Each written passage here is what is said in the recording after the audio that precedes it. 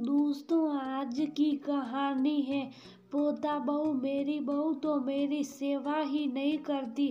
दोस्तों, कहानी शुरू करने से पहले अगर आपने चैनल को सब्सक्राइब नहीं किया हो तो कर लीजिए ताकि आपके पास पहुँच सके हर नया वीडियो। ससुराल के देहरी पर खड़ी नीलाक्षी ससुराल का वैभव देख हैरान थी इस घर आँगन में तो उसके गाँव के कहीं घर समा जाए। हैरान थी अपनी तकदीर पर कि कैसे इस घर का रिश्ता आया उसके लिए। हाँ माँ से सुना था कि बिरादरी के एक घर के ब्याह में सासू माँ ने देखा था उसे और उसकी खूबसूरती पर रीझ कर ब्याह का प्रस्ताव भेजा था। उसके घर नीलाक्षी अंदर आओ बेटा, स्वागत है तुम्हारा इस घर आँगन में। कहते हुए सासू माँ अरुणा जी ने उसे गले लगा लिया। ढेर सारे रस्म निभाए जा रहे थे। पूरा घर मेहमानों से पटा था। हर तरफ़ नीलाक्षी की सुंदरता की चर्चा हो रही थी और अरुणा जी तरफ़ से अपना सिर उठाई पूरे घर में घूम रही थी। मेहमानों के आ भगत में क्या कोई कमी छोड़ी जानी थी। बिल्कुल नहीं, इस घर के अकेले बेटे राघव की शादी थी। बनारस, जोधपुर, जयपुर। और कहाँ कहाँ के खान में बुलाए गए हर समय अलग अलग का भोजन, अलग तरह के जल पानी, इतने सारे इंतज़ाम के बाद भी एक आवाज़ बार बार अरुणा जी को विचलित किए जा रहा था। अरे, कोई मुझे तो बहु रिया से मिला दो, कोई मुझे उसका मुँह दिखा दो। अरे रानिया, कोई मेरी लक्ष्मी को कोई तो दिखा दो। बार बार ये आवाज़ जा रहा था, लेकिन जैसे किसी का ध्यान ना हो उस पर नीलाक्षी बार बार उस आवाज़ को सुन परेशान हो रही थी। धीरे से राघव से पूछा कौन है? किनकी आवाज़ें? कैसे बुला रही है? राघव ने कहा, दादी है, कमरे में आओ, तुम्हें ले चलो। कब से मैं रस्म खत्म होने का इंतज़ार कर रहा था।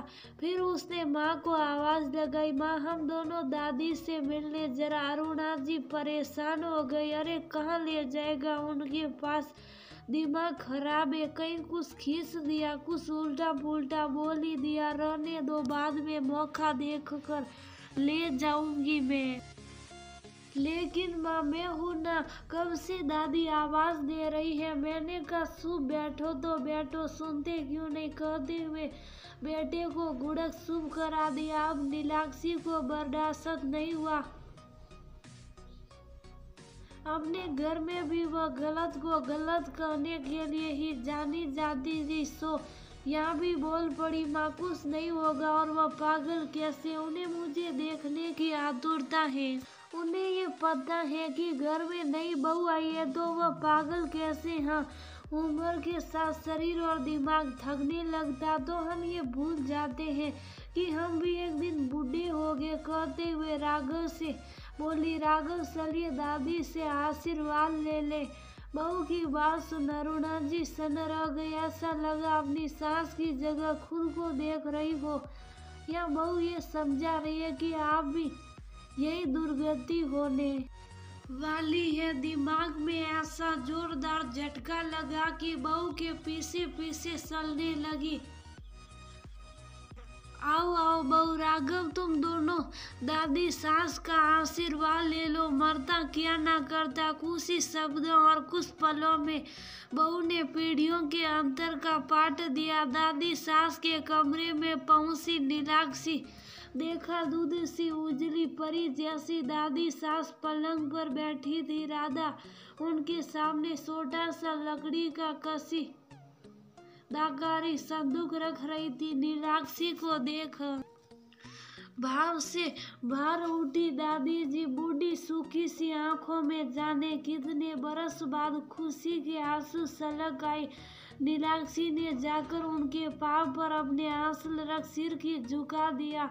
जुग जुग जियो राम सिया, तुम दोनों सदा सौभाग्य बढ़ती रहो। तुम्हारे घर आँगन में नन्हे मुन्ने खेले, कहते हुए लकीरों से भरे चेहरे पर जैसे कितने निश्चित भाव देने लगे, फिर खुद ही खिलखिलाने लगी बिना किसी हँसी मज़ाक के, ये वक्त का मार था जिसने उनके सोचने समझने की शक्ति को शिक्षण हो रही थी। नीलाक्षी ने उनके चेहरे को अपने हाथों में ले लिया आठ प्यार से ऐसे नियारा जैसे छोटे से मासूम बच्चे को देख रही हो, फिर अचानक से दादी जी वर्तमान में लौट आई। समृद्धि वापस आई तो राधा को ज़ोर से डांट लगाई, क्यों रे संदूक खोला क्यों नहीं? किया सब कुछ तो हड़प लेना शादी है? अच्छा अच्छा मेरे बेटे की दुल्हन है तू ना दे भाग, यहाँ से ये हार तुझे ना दूँगी, बहू है तो क्या? वो फिर समर्थी चली गई। नई नौकरानी का बहु मानकर डांटने लगी। नीलाक्षी समझ गई, वह हार उनके हाथों से अपने गले में खुद ही डलवा लिया और अपना माथा उनके शरणों पर रख दिया। ऐसा भावुक दृश्य की जिसने रिश्तेदार सभी के आँखों में आँसू थे। अरुणा जी नीलाक्षी को देख तकलीफ़ में थी, गलती का एहसास हो रहा था, लेकिन चेहरे संतोष का भाव था कि हाँ उन्हें बहुत प्यारी बहू मिली जो उनकी तरह तो बिल्कुल नहीं है। दादी जी ने नीलाक्षी को उठाकर सीने से लगा लिया।